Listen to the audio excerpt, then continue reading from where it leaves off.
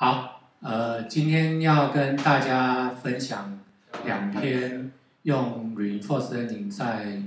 那个 finance trading 哦，就是交易的金融交易的两篇研究论文。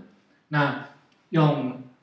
reinforcement 在 trading 上面的论文，从过去到现在非常的多。哦，那我挑两篇比较近期的，哦，当做一个这个这个 re 的一个 reference 啊，给大家参考。那第一篇是用 RL 做期货的交易啊，那第二篇是用股做股票的。好，那不晓得各位有没有在操作期货？我想大部分应该都没有没有。好，那期货跟股票一个最不一样的地方，它是一个零和游戏啊，就是有人赢就一定有人输，它是等比的啊。那在台湾的市场有关于这种呃衍生性金融商品，除了期货，还有选择权跟那个权证啊。那权证跟选择权在国外基本上是基本上可以看成是一样的东西。那在台湾分成选择权跟权证，好，那权证是由券商发行的，所以在权证里面，一般人只能是买家，哦，然后券商可以当买家也可以当卖家。那选择权是两者都有，啊，可以那个当买家也可以当卖家。那选择权跟期货，大家知道不一样的地方在哪里？啊，一个最 key 的不一样的地方是，期货有交易的义务，就是你买家，你一旦呃付了这个权益金之后，你最后一定就是在最后的那个结算之前，啊，到不管是结算日前还是结算日之前，你一定要交割，但选择权选择权的买家没有这样的义务，哦，他就付付出了这个这一一笔小小的这个那个权利金，哦，他可以选择不交割，就一个绑的是实际上面的那个交割的商品，一个只是一个算是一个呃契约，哦，所以选择权可以买家可以选择不履约。但但是期货啊，你可以在结算日之前或结算日清算都可以。OK，好，这是台湾的衍生性金融商品商上面三个比较大的哦这个操作工具。那这一篇是以呃期货为主啊，那可能有商品的期货，那指数期货，指数期货台湾比如说玩最多的就是台指期。呃，有所谓的大台，就是以以台子期它点数，就每一点它，好，我记得好像是两百块还是多少，有点忘记哈。然后还有所谓小台，小台就是每一个指数它的金额比较低，好，啊，那这这是透过指数来做，就每天的那个哦交易日它的指数上上下下，当做一个期货商品来交易。那第三类就是固定收益，固定收益，比如说。那个国债哦，这些公债，还有公司债等等这些哦，固定收益的哦，或是或是像存款哦，存款利率这些固定收益。那最后一种就是这个汇兑交易哦，就比如说在台湾做外汇交易的这样子，这这几种哦交易方式。那这这篇论文主要是以这几个。那稍早我们在第一个 session 有提到这个 machine learning 哦，它需要做 feature engineering 哦，那要挑有哪些 feature？那我们不是有提到说 deep learning 哦，基本上大部分都不用做，但是并不是完全不用做。哦，从这篇论文里面我们就会看到它要去挑 feature 哦这样的一个特性。那为什么？我们这里需要挑 feature 呢？我们都知道 reinforcement learning 里面有所谓的这个 state。好，那就 finance 而言，我们啊就 trading 而言，我们要挑哪些当做我们的 step？好，那一个最常用的就是每天的收盘价，或是高低价，哦，那你这篇论文而言，它是以每天的，哦收盘价，哦，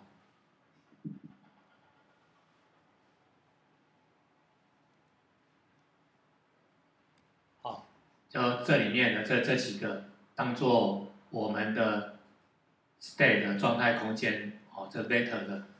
member，哦，第一个就是过去的价格，哦，就一波，比如说看你的时间单位，哦，它可以是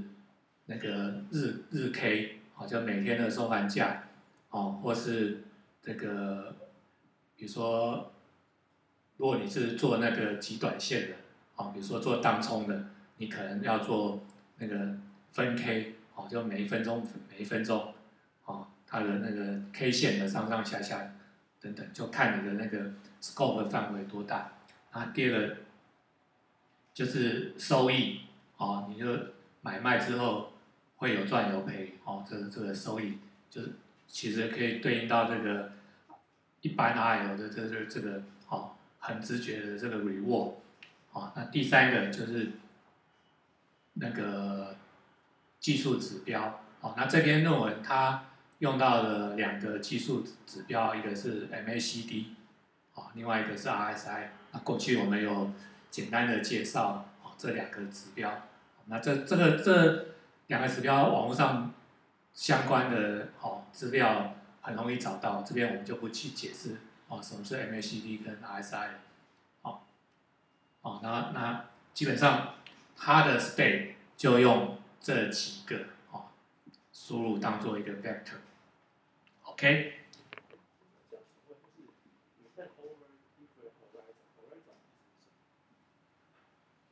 那这边就是它的时间长度，要看过去哦一个月、两个月，哦，或是三个月。比如说我刚刚讲当中，就是看每天哦你的收益、损益啊，这是这这它的这个所谓 horizon 的意思。好，好，这是这一篇论文它 state 哦几个几个 feature 它都采用的。那回过头来，这边开头它有稍微提到，哦，这个 reinforcement learning 哦，在其中的一种分类方法哦，总共有三种，所谓 quick only、actor only 跟 actor critic。这三种，那所谓的 critic 就是看它我们在求那个 value function，哦，最基本，比如我们只看 state，哦，就 state value function，哦，那进而进一步我们可以去算这个所谓的哦 state action value function，哦，比如说 Q learning 以及加入了 neural network 之后的所谓 DQN，哦。这个 Deep Q Network 哦，这些是采用所谓的哦 State Action Value Function。那 State Action Value Function 它有个特征，它的状态空间是离散，哦，它是它不是连续的，它是离散。那以这个股票，比如说以期货交易为例，它就是负一零跟一，哦，它的 Action，负一就是卖掉。然后零就是手上就是完全没有任何东西，没有买也没有卖，啊，然后一就是那个看买进，就是应该说是看多了，啊，负一是看空，啊，因为因为这这边讲的是期货，啊，期货只有看多跟看空，好，那期货又分做买家跟卖家，啊，如果我们今天买家，我所谓的 buy call，哦，就是看多买，好，buy put，哦，就是看空买，就看涨看跌，哦，因为因为比如我们以指数而而言，就说我觉得这个指数之后会涨到某一个好点，哦，比如说以这台股的大盘的指数，我们就会有现在好像是一一万六是吧？哦，比如说我会觉得它会涨涨到一万六千两百点，那今天就有卖家，好，就那个好，sell call，哎，那个好，应该说呃看看涨，好，就先先把这个会涨的卖个一一千六一万六千点，好，这个点数卖家卖出来，然后就会有买家去买这个点数。这样你的交易就成功了，哦，那反过来买家也可以买看跌，哦，比如我看到会跌到一万五千八，那一样卖家可以开出一个哦，sell put，哦，看跌。买家看跌，就买家把它买，啊卖愿意卖的意意思是他他不看。他他是反过来的，对卖家而言。他是完全跟买家是反反的，好，他他卖低价的是看多，他卖高价的是看空，他因为他觉得不会达到，right，好，比如说现在是一万六千点，那我卖一万六千二，表示我觉得它不会上一万六千二，我才会卖这个价格卖出去，因为我要收权利金先收进来。对不对？那如果他达到，我卖家其实就亏了，我就输钱了。好，所以对卖家的观点而言，它是反跟买家，好，buy call 这个这个看空看多是是反反过来。好，OK，好，所以针对这个离散的它的状态空间，它就只有这三种：负一、零、一。好，看空，好，然后手上没有任何的这个呃。期货跟哦看多，好，那这所谓的这个 critic only 这边所谓的这个哦，这里讲的 critic only 就是指这样的透过 value function 好来 model 来计算的，那一个典型代表就是 DQN 好，跟它后续衍生的哦，比如说 during D DQN 等等这些，那第二个分类。哦就所谓的 actor only，actor only 其实什么呢？就是去算它的那个好 policy gradient，好，就我们之前如果有学过 referring，除了去算它的 action value，我们也可以透过 policy 哦去 drive 这个 action，好，那如果我们今天用 neural network 来做的话，我们就可以，因为用热也可以做到。这个梯度的运算做归点，所以它的状态空间，呃，不是它的 action 空间是连续的，好，所以我们就可以做所谓的 policy 归点，简称为 PG。等一下，不好意思。好，这个第二个，这个好，enter only，好，一个。典型的代表啊，这里不行，好像在下一页。PDF 编辑软嗯？PDF 编辑软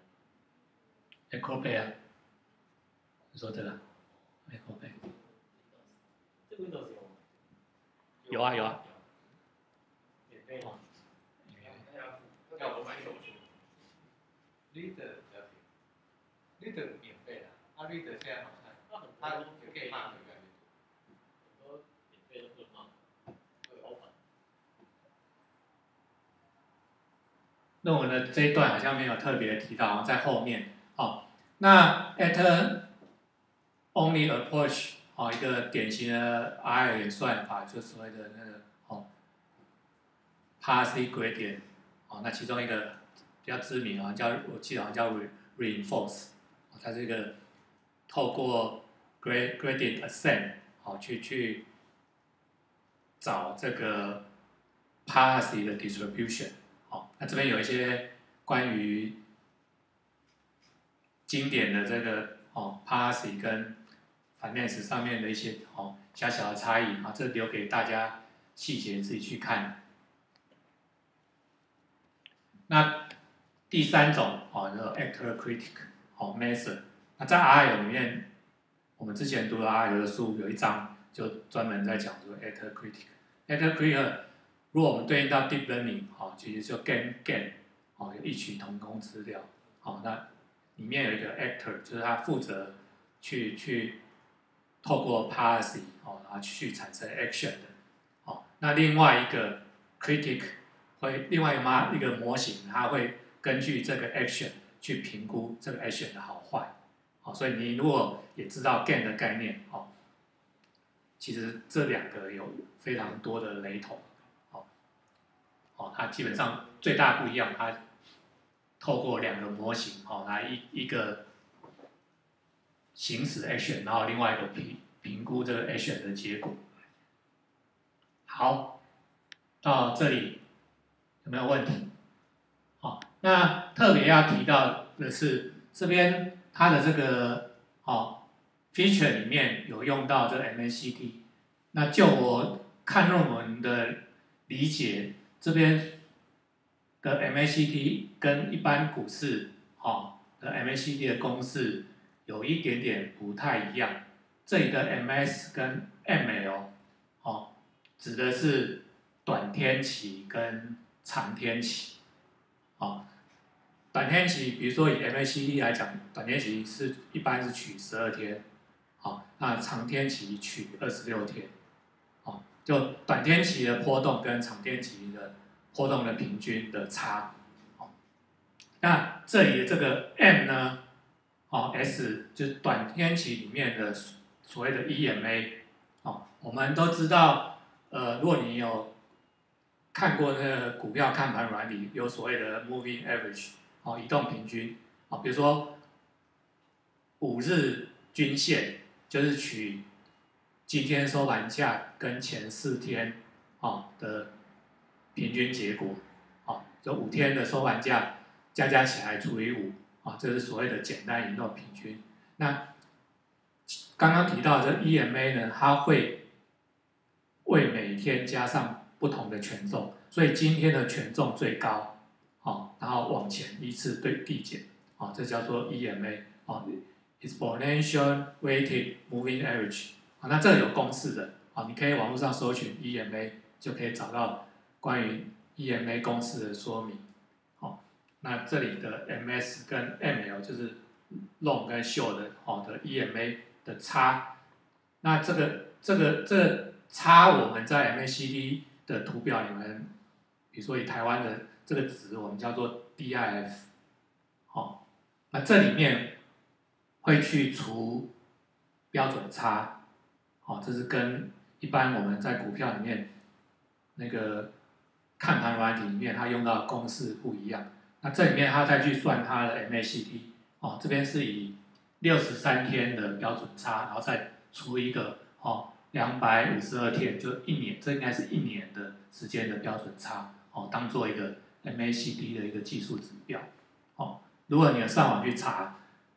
你会看到一般。讲的这个 MACD 的公式跟这里哦有点不太一样，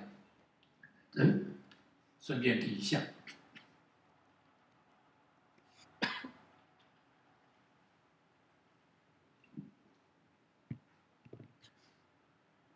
好，那这边有有有提到，如果是离散的话，是介于负，好，呃，好，如果是离散的，它就是负一、零跟一。那如果是连续的话，哦，负一到一之间，它的值是连续的。好，那离散跟连续有什么不一样？好，如果是离散的话，就是全部做空，好，还有一就是全部做多。OK，那如果是介于负一到一之间，除了零以外的值，就是因为。它是一篮子的商品，啊，它做期货，它不是不是做单独，比如说那个指数选择权，它也有做商品的，也有做汇率的，所以它有一篮子的，好，的商品去去做交易，所以那交易的标的其实做期货也可能不止一个，好，所以它要控制风险，所以我们要做所谓的那个 portfolio，好，management。那在这种情况下面，我有的会做空，有的会做多，哦，因为不同的商品在同一个时间点，哦，它的比如说呃股市跌，你可能会买黄金避险或是债券避险这一类的，哦，所以你你会同时做多跟做空，哦，那所以这状态空间里面它就会是一个连续的，好，好，注意一下这差别，好，OK，好，那这是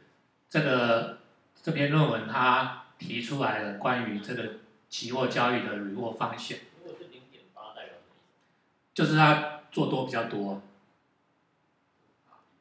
一一就是全部做多嘛，哎，那零点八你就有两层是多做，可以把想想成简单，两层是做空，八层是做多，哎这是很简单直觉的，但是它其实要看你的实际的公式再算哦，不是这么简单的直接替换。那这是它的这个 reward 方向，好、那这边看起来有点复杂，先介绍几个里面的这个，好、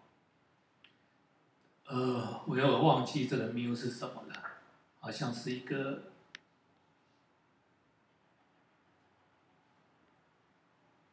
好，啊，这边它直接设成一，哦，就就就 don't care。那这里面的 a 就是我的 H value，我就刚刚讲这负一到一之间，哦、那这边有了 sigma target 跟 sigma t 减一，好、这边所谓的 sigma，好、在数学上就是其实就是标准差。那对于这个股票金融交易来讲，就是它的波动率，好、那为什么要考虑波动率？因为衍生性金融商品它都有所谓的到期日，所以随着到期日逼近，它的商品价值会随随着时间递减。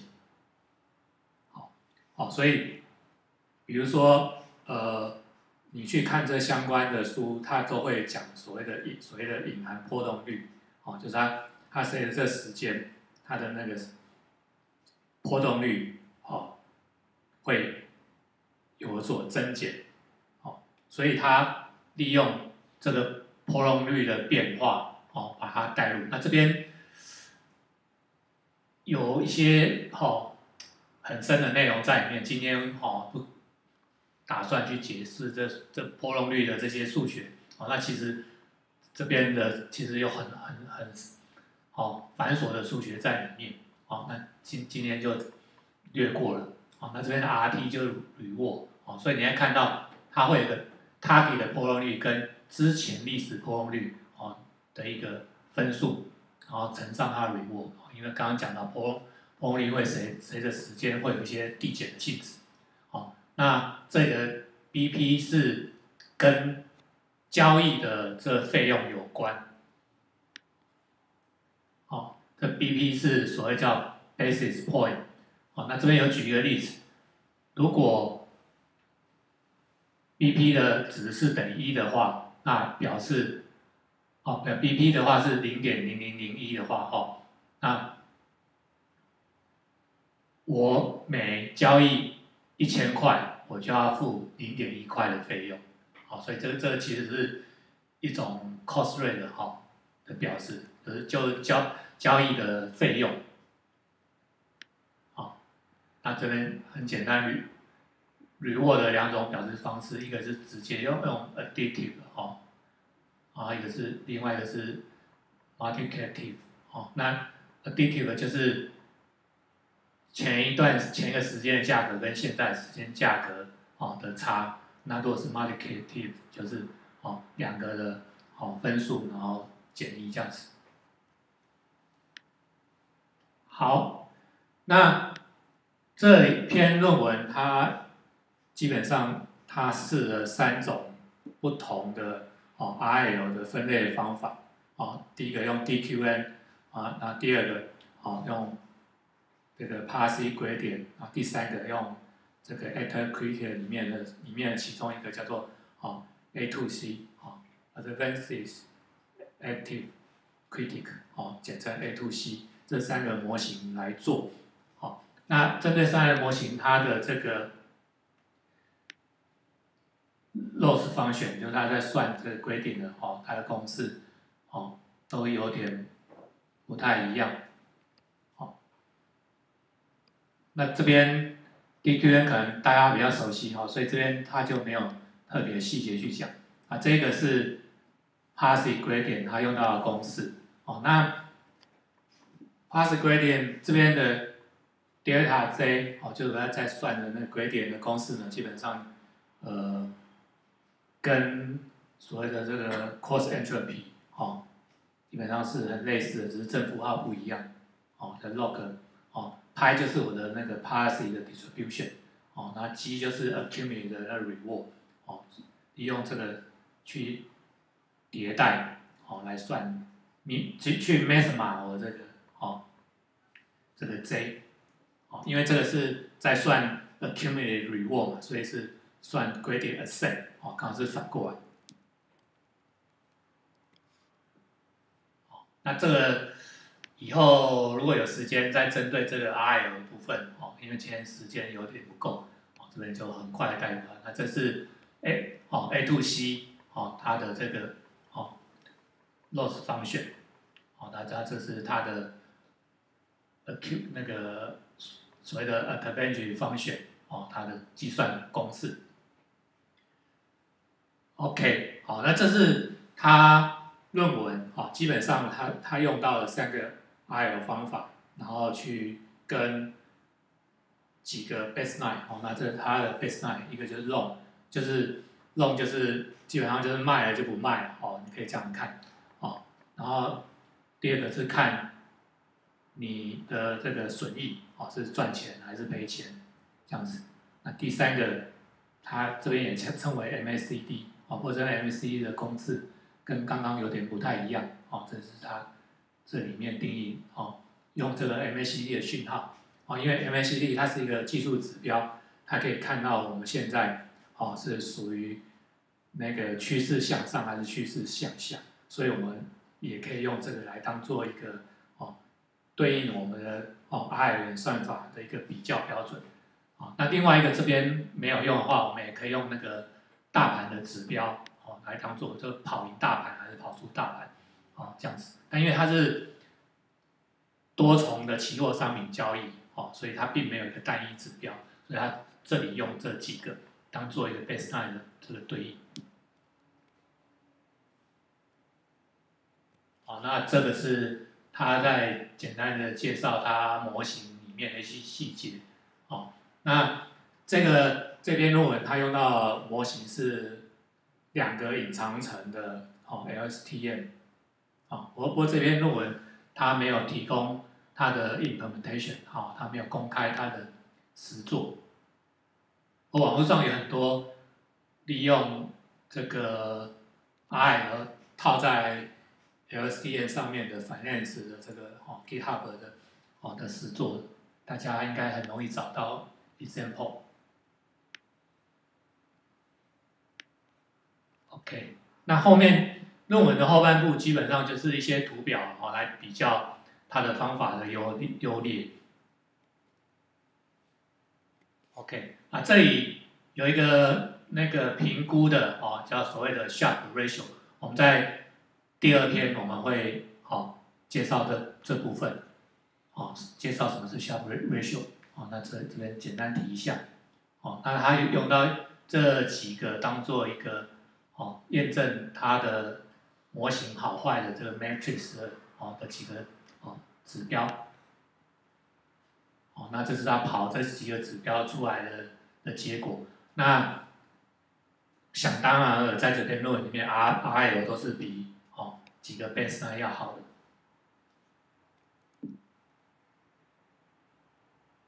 哦，那是根据刚刚的 Sharp Ratio 啦，哦，根据 Return 啊，哦等等，哦，那这是。他跑这三个是 baseline 哦，但 long 就是就就是买了一直放着哦，然后这是看损益哦，就是看趋势啊，趋势向上哦就看多，趋势向下就哦就看空，就就就做空这样子，然后 MACD 指标 DQN 哦这个 p a s s i gradient 哦 A to C 哦，你可以看到，如果我们很简单的看这个哦。Turnover 就是买卖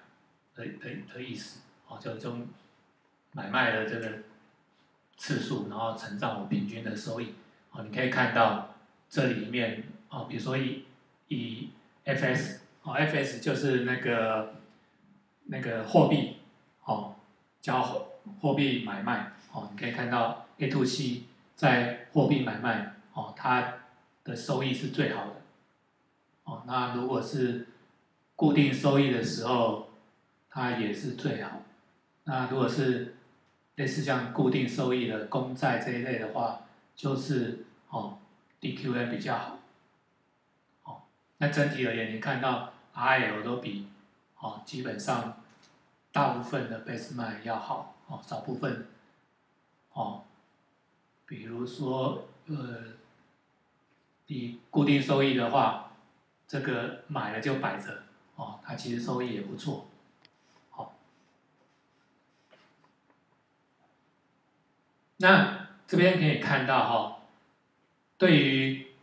固定收益来讲，这个 A to C 并没有表现比较好，好，然后 DQN 反而比较好，可是对于这个货币哦买卖的时候，A to C 反而比较好。哦第二篇论文这边在这里比较琢磨不多。第二篇论文提到，哦，A to C 它它的模型呢，它会比较适合在市场没有趋势的时候，啊，比如说以货币来讲，它它的上下浮动比较没有所谓顺势跟哦逆势，比较没有趋势性，好，所以在这情况下面，A to C 就会表现的比较好。那如果如果是比较有有趋势性的话，哦，A to C 相对的就会表现的比较弱。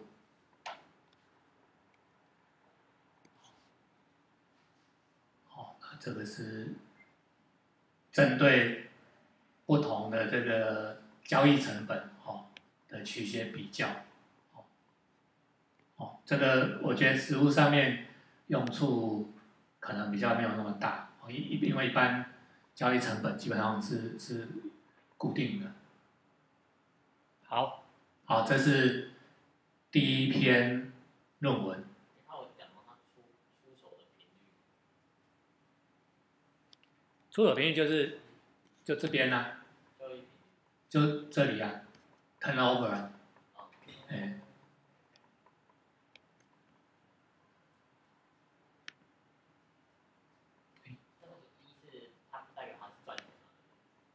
啊？他刚刚那个一是指他做多，但是代表这个做多赚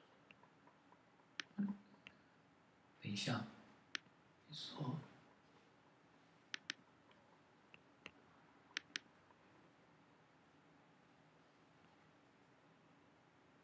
没有？这边这边的纵轴指标是是不不是跟刚刚那个是不一样的？哦，像这个图表是所谓的 Sharpe ratio，哦。然后这个这下面这图表是你赚的钱，哦，对应你的交易次数。那当然大于零就是你一定是有赚钱嘛，哎，小于零就是你赔钱嘛。啊，这个基本上就是一个 variance，哦，这个我我也忘记，这可能是它的那个 standard variation 吧。这样回答你的问题吗？好，那第二篇啊，一样是用 RL 方法来做股票交易。那它股票交易标的是以这个呃，记好像是好像是道琼斯的样子啊，好像是道琼斯的道琼斯三十只成分股啊。的股票来当做交易的标的。那这一篇论文它的 state feature 啊选的比较多啊，多了几个。那这篇论文它跟前一篇不一样的地方是，他挑了三个哦 I 的模型哦 PPO A to 七跟 DTPG 这三个，这三个如果没有记错的话，都是这个所谓 at critic 的哦的模型，哦，这三个模型，然后做所谓的 unstable，哦，但它 unstable 跟我们一般的 unstable 概念并不全然一样，我们待会会会讲，哦，所以它的状态空间，哦，A Asian A 不是说状态 Asian 的空间不太一样，哦，那，诶，对 Asian 一样，它有卖哦 hold，因为这是股票，哦，所以它有卖跟手上的持股，哦，它持股有可能是没有，或是有一些持股，就是你有多少血，哦，跟买这样子，哦，跟刚刚的那零的定义不一样，哦，这边的零就是 hold，哦，手就是我不买也不卖，哦，维持我手上的持股，那这里面的那个好状这个这个 Asian state 里面会从负 k 到 k，好，那这边什么意思呢？就是你卖多少买多少，好这样子，好，这是以血而言，好，这 K 就是卖掉多少血，买买多少血，好，所以它它的那个空间，哦，也是连续的，哦，这是？就就看你有多少血了，哦，但是我买多少我可以买好多血，对啊。就看我现在有的钱，对啊，对啊，对啊，哦，就就基本上就是这样，哦，这这边这边的这个范围就是你的血，哦，买卖血的的的股数，好，那它的呃这边跟刚刚一样，它介绍所谓的哦这三个 I 的分类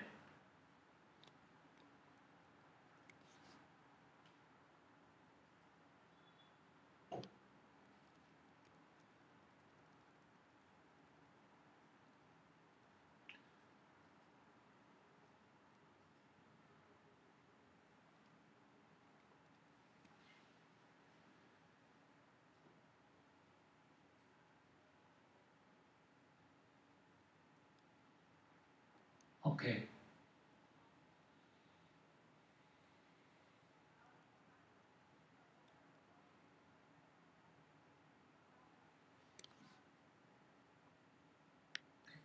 哦，这一段呢，哦，再简单介绍一下它的哦 state 的 feature 选了哪些 feature，好，那跟刚刚不一样的，它除了 price，好，那也有所谓的 share，哦，那一样，它用到这两个指标，哦，MACD、RSI，那它同时又含挂两个新的技术指标，哦，CCI，CCI 我记得中文好像翻成叫顺势指标的意思的样子，哦，那另外一个是 ADI，哦，这多了这两个指标，那这还还除了这以外，好，还有所谓的这个 balance。好，balance 就我现在还有手上还有多少钱的意思，哦，因为你有钱才能买，哦，所以它它多了这个手上的这个 balance，哦，持有的这个现金部位，哦，那因为它有三十只成分股，哦，所以它 total 的状态空间是，哦，一加上，哦，一就是现金嘛，哦，加上六个一二三四，一二三四，哦。呃，一二三四五六，好六，好，然后乘上三三十三十个股票，然后加一，total 会有，哦，它的那个 state space，哦是一百二十一个元素的向量。好，到这里有没有问题？好，那这篇论文里面有很多那个。公式哦，它基本上就在讲它这个买卖之间哦，它的那个损益的值哦，比如说很这边是它的细节哦，那简单来讲就是你的 reward 哦，就等于你现在手上哦持有的减掉你卖的跟减掉你买的哦，然后再加上你买的哦，然后再减掉那个。交易的成本，啊，就是交易的费率，哦，等等，啊，那那这些旁枝末节的公式，它基本上就在解释这里面的每一项哦，这公式怎么带。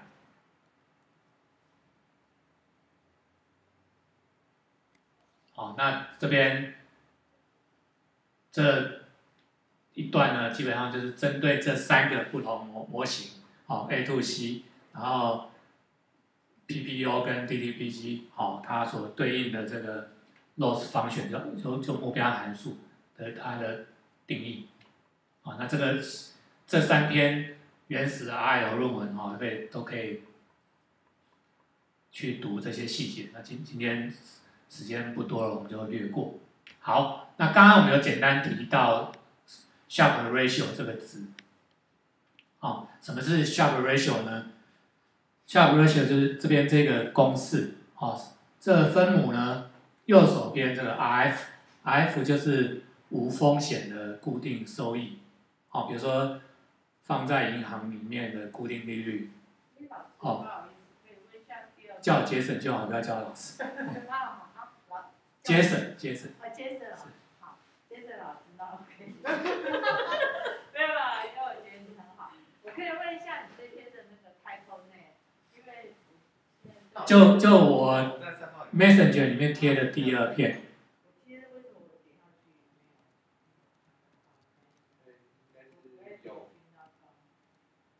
这个啊，这这是论论文的。啊，OK，刚好到这个论文的第一页啊，呃，这这一个作者呢，这一群作者呢，他们有针对这篇论文哦写了一篇 blog，哦，大家可以可以去哦看他的 blog 文章，那他们也有提供他们的实作哦放在这里。这是这他的论文的实作，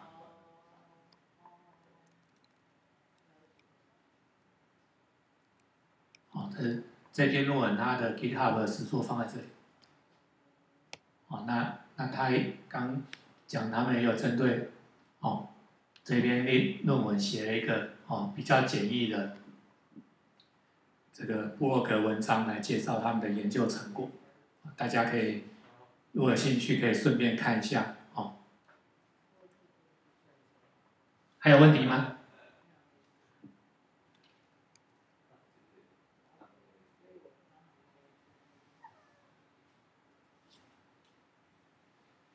？OK，回过来，这什么是 sharp ratio？那分母的右手边这个 RF 就是固定收益哦，比如说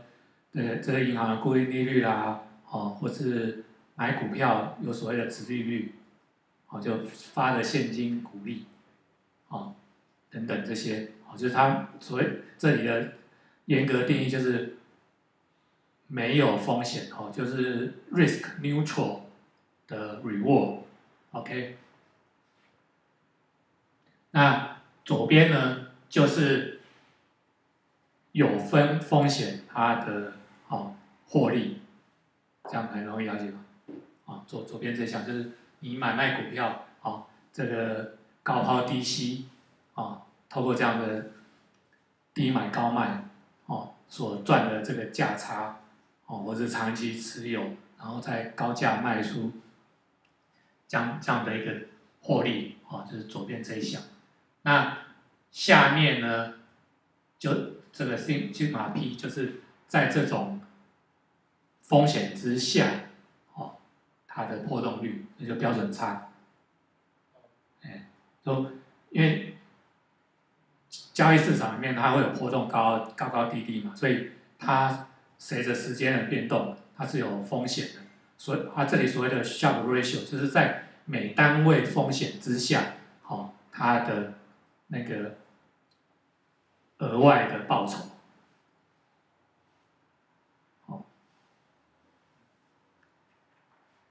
我们也会把这额外报酬也定义叫在我如果如果我的理解观念没有错哦，我们定义这种额外报酬叫做阿尔法，哦，就是你比如说你追踪指数，但你跑赢指数，你多赚了，好，这这个这个就是好，excess return，哦，就是啊，这是所谓的效 ratio。那我们我们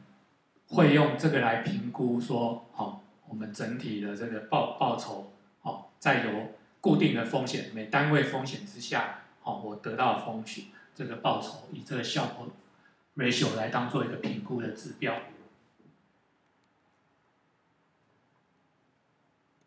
好，那这是在介绍它的资料集。好，那这边的刚刚有提到它的 ensemble 方法，ensemble 方法跟一般我们的 ensemble 哦去做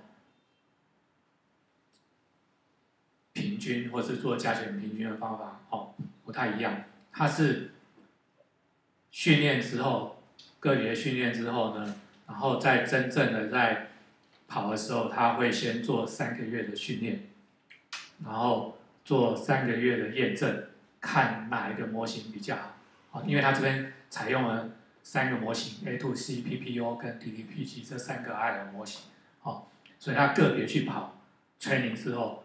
，training 除了前面的 training data，那后面要开始做 test 之前，利用前面 training data 前六个月，好，就三个最前的三个月做 training，看哪个结果最好，然后。再用接下来三个月做 validation，哦，然后 pick validation 最好的那一个，当做接下来一季三个月，哦，去做测试，哦，这是他所谓的 ensemble 的方法，哦，所以他基本上用了九个月，哦，三个月做 training，三个月做 validation，啊，三个月去做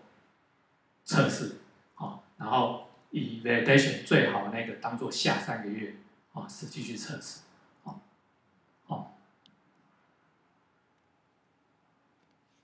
好，那这是他实际这里的这个浅橘色就是道琼斯指标大盘的这个哦，在这时间它它这个指数上上下下，哦，那这三个是 R 演算法个别的哦的结果。那大家可以看到，PPO 的结果，哦，相对的比较，好，所以大家可以看出来，我们以这个道琼斯指标，你可以看到它从整个时间来看，从二零一六到二零二零的五月八号，好，整个趋势是向上的。哦那由这个结果，我们就会看到，PPO 很适合做顺势操作，就它具有趋势性来讲，，PPO 它的收益是最高的，好，那可以看到 A to C 相对的低，好，那 Ensemble 介于中间嘛，因为 Ensemble 是每一段时期个别去挑，好，在那个时期，好，以前面六个月的结的那个，好。training 跟评估的结果，然后接下来三个月做测试，好，所以所以它整体而言都不会在任何一时间，好，大部分情况下都不会比单任何单一的在单独一个时期，哦，比单一的一个 R 方法更好，但平均而言，它它的结果哦，相对的会比较胜出。好，你可以看到它以不同的这个评估标准来讲，好，如果刚刚讲的整个时间趋势是向上的，好，所以如果以整体的收益来讲，PPO 哦最好，好，那如果年报酬率的话，也是 PPO 最好。可是如果我去算那个哦年度的波动率，好用 Sharpe Ratio 的话，哦，然后呃，但我有点忘记这是什么什么意思了。最大的最大掉下来这个地方，对。哦，就就哦，OK，好。那如如果以以这三个当做评估指标来讲，哦，Ensemble 方法方法会哦相对的比较优秀，好。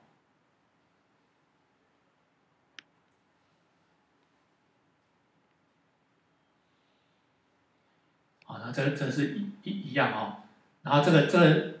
论文里面还有所谓的 turbulence。哦，就是它中间的这些浮动的哦，它加进了这这一项哦，来来让跟实际的股票市场的哦去模拟它的这个扰动。好，那这边它的结论，它有就有有有有提到，哦，针对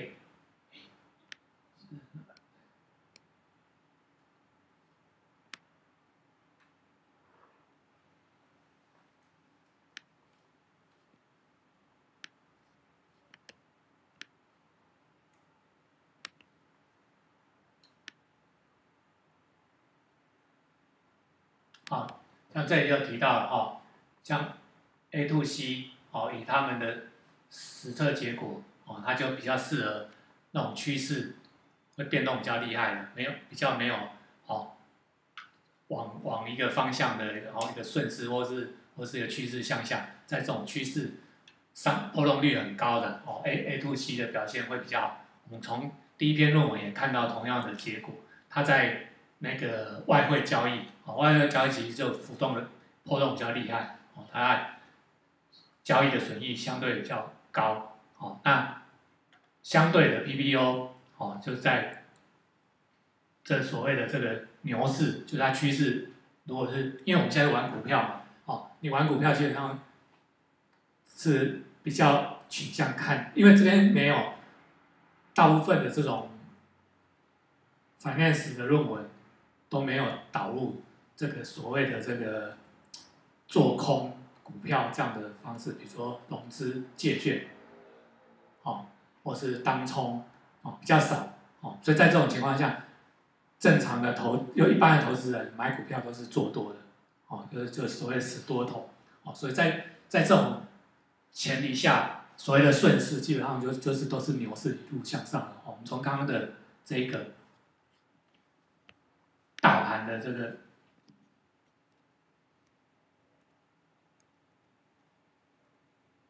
哦，从这个道琼斯指数，你也看这些时间，它基本上除了一些上上下下的变动以外，整个趋势其实也是向上的。哦，那 PPO，哦，甚至是像原始的这个 Parsi 规点，哦，它会很倾向于这个啊，因为。Parsi gradient 的特性，它会在既有 Parsi 之之上面，哦去做一个调整，所以如果变动不大的话，哦，它的它的结果会比较好。那比较可惜的是，这两篇论文还有大部分的 RL 在反映式论文，哦，大部分都是拿既有发表的 RL model 来用，他们并没有琢磨在说，好去。变化现有的 model 或是 create 新的 model 来针对 finance 特性，哦，至少我目前看到，哦，这这这方面做 finance 应用的人，哦，基本上都局限在套用这个，哦，A A I A I 现成的东西拿来用，比较没有在 model 本身去做较多的琢磨。如如果有心在这方面开发产品或做研究的话，我觉得这可能可以针对反面的市场，哦，不一定是股票的，也有有可能是这个这，哦，做这个 credit 的 verification，哦，比如说评估一个人的信用度，哦，跟金跟等等这些，哦，都都可以去针对反面时的特性去改善一些现有的或是新的模型。那刚刚有提到这这一篇论文，它它有 open 它的 source code，哦，那第一篇论文它是用 LSTM，那第二篇论文它用到的那个 OpenAI 的所谓的 Base9 这样的一个哦 library，那那个 library 我没有 study 的很深，不过大概简单看一下，哦，它基本上是用 CAN 的 model，哦，就 convolution。那在这情况下，应该是用 one dimension convolution 来做，哦，那在这个实作，这个作者这个论文实作基本上是直接呼叫 S9 来做，所以在这个 source code 你是看不到 deep learning 的实作，哦，你要去追到它采用了 Baseline，那这 Baseline 好像是用 TensorFlow 哦的部分来实作，因为我看到里面有讲说它用到 TensorFlow 一点，所以我猜测它底层的 Deep Learning 应该是绑 TensorFlow 的。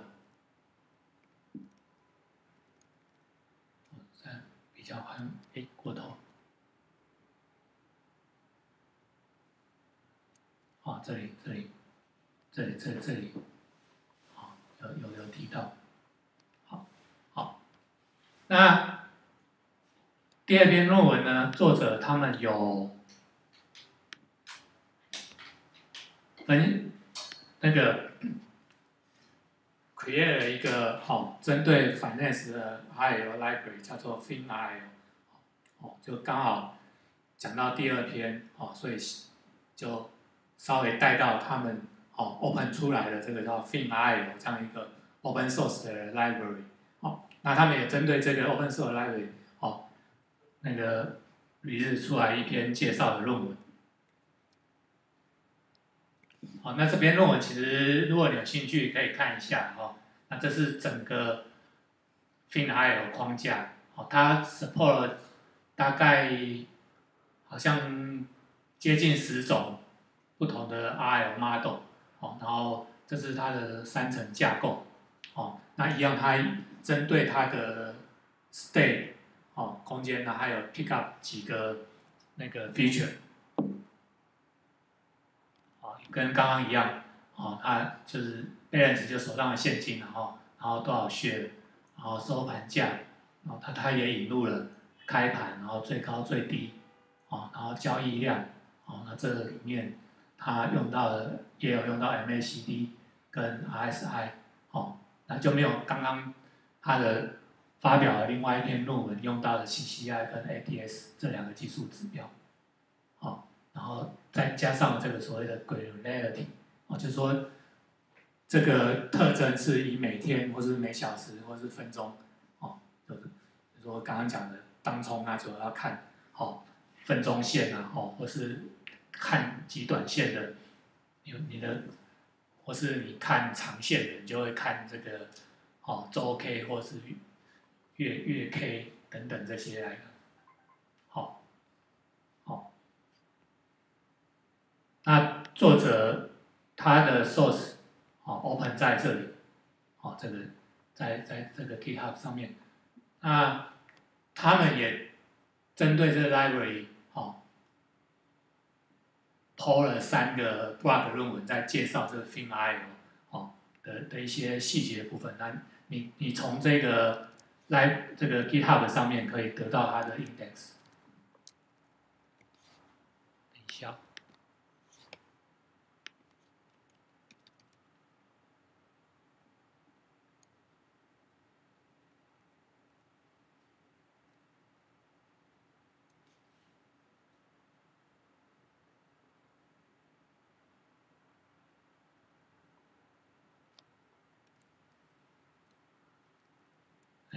我记得它它有连接在这里哦，我有点忘记了，这是论文哦。不过大家从那个论文的标题哦去 Google 可以应该可以找到他的博客的文章，哦哦，这顺道提了，这是一个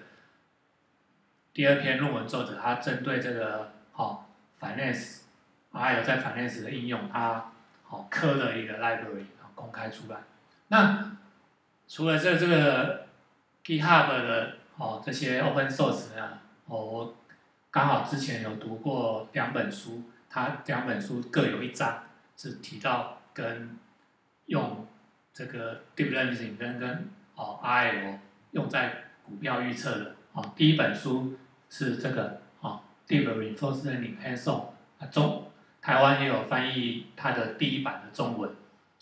它的第二版的第十章，啊，就这里，啊，这是它的 GitHub source code，在它的，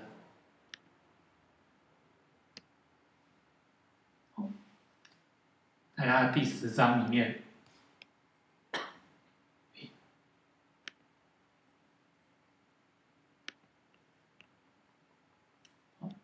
在